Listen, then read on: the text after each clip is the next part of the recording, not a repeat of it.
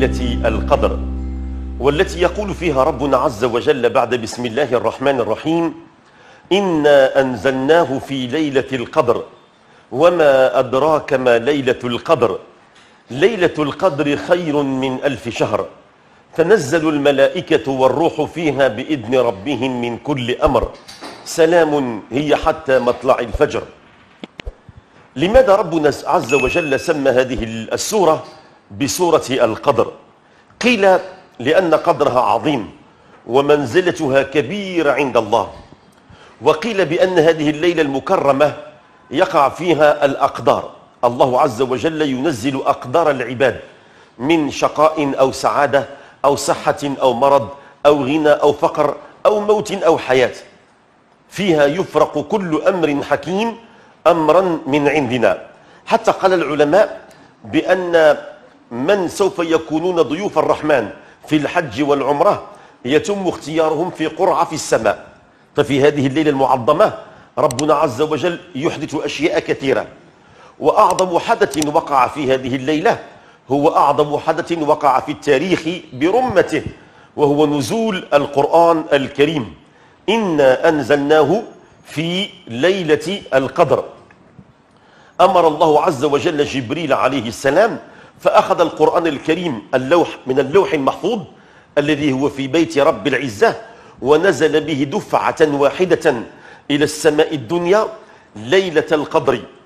ثم بدأ ينزل به منجما مفرقا حسب الوقائع والأحداث. وكان أول ما نزل منه خمس آيات صبيحة تلك الليلة وهي التي تسمى بآية العلق. اقرأ باسم ربك الذي خلق. هذه الليلة المعظمة ربنا عز وجل ينزل فيها الملائكة. الملائكة ينزلون في كبكبة معهم جبريل عليه السلام. يسلمون ويباركون كل من كان يصلي أو يذكر الله جالسا أو قاعدا أو قائما في تلك الليلة حتى بزوغ الفجر. هذه الليلة معظمة تساوي عند الله تعالى بل أكثر من ألف شهر. وألف شهر هو 83 سنة وأربعة أشهر. فقد أخبر النبي صلى الله عليه وسلم بأن الأمم السابقة كانوا يعمرون طويلا ألف سنة 1500 سنة. سيدنا نوح مثلا لبث في قومه ألف سنة إلا خمسون عاما. بعض الصحابة قالوا يا رسول الله نحن هذه الأمة نعيش قليل ما بين الستين والسبعين وقليل من يتجاوز ذلك فأعطانا الله تعالى هذه الكرامة.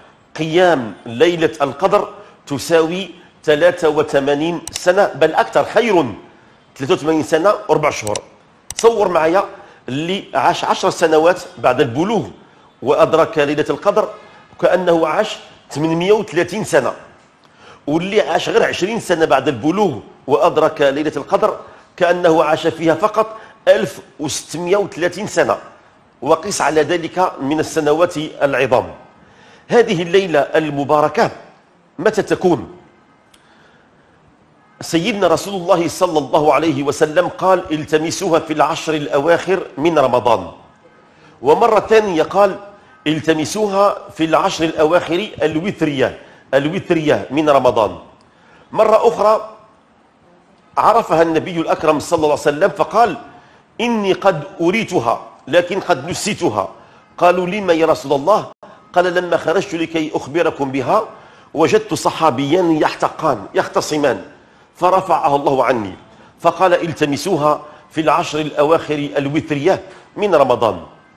الصحابة اجتهدوا وقالوا بأن لها علامات فمن علامتها مثلا أن تلك الليلة يكون هناك نشاط دؤوب الناس يستعدون أكثر للصلاة والعبادة والذكر.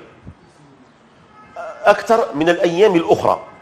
كذلك هذه الليلة المباركة المعظمة فيها السلم والسلام والأمان. سلام هي حتى مطلع الفجر. وتكون فيها الإضاءة قوية لأنك تنزل فيها الملائكة والروح في هذه الليلة المعظمة. ثم ممكن من علامتها أن الناس قد يرونها في المنام. فقد سئل عبد الله بن عمر رضي الله عنهما فلما آه، مجموعة الصحابة قالوا رأيناها في المنام. قال لهم أي ليلة؟ قالوا ليلة السابعة والعشرين. فقال عبد الله بن عمر لا يمكن أن تتواطأ رؤاكم المنامية على الكذب. فقال لعلها السابع والعشرين. كذلك أبي بن كعب الصحابي الجليل كان يقسم يقول والذي بعث محمد بالحق إني لأعلم أي ليلة هي. إنها ليلة السابع والعشرين. وإن شمسها تطلع صبيحتها طاهرة نقية صفية. علماء معاصرين حاولوا أن يستعملوا المنطق الرياضي أو أسلوب الإحصاء الرياضي في القرآن الكريم ليقفوا على ليلة القدر. فهذه السورة عدد كلماتها 30 كلمة. ليلة القدر. إذا حسبنا هذه السورة فيها 30 كلمة. والشهر فيه 30 يوم. بمعنى أن عدد كلمات السورة تعدل عدد أيام الشهر. فقال ربنا عز وجل سلام هي حتى مطلع الفجر. كلمة هي هي رقم 27 العلماء قالوا هذه الكلمة هي زائدة. لو أن ربنا عز وجل قال سلام حتى مطلع الفجر لكان الكلام مستقيما فهي زائدة.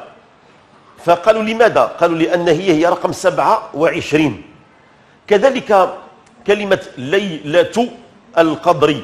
هذه الكلمة شحال من حرف فيها؟ فيها سبعة أحرف.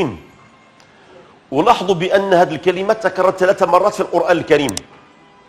إنا أنزلناه في ليلة القدر واحد وما أدراك ما ليلة القدر اثنان ليلة القدر خير ثلاثة. وثلاثة في تسعة تساوي سبعة وعشرين. كل هذه الحيثيات تفيد بأن الراجح أن هذه الليلة هي ليلة السابع والعشرين. أمنا عائشة رضي الله عنها الفقيهة لم تسأل النبي عن الليلة متى هي ولكن قالت أرأيت يا رسول الله إن أدركت هذه الليلة؟ ماذا عساني أن أقول؟ قال قولي اللهم إنك عفو كريم تحب العفو فاعف عني. فعلينا أن نواظب أيها الأحبة الكرام في هذه الليلة على هذه الكلمة اللهم إنك عفو كريم تحب العفو فاعف عني. دعاء بالصفح والعفو والكرم الإلهي. كذلك علينا أن نكثر من فعل الصالحات من صلاة وتهجد وركوع وسجود.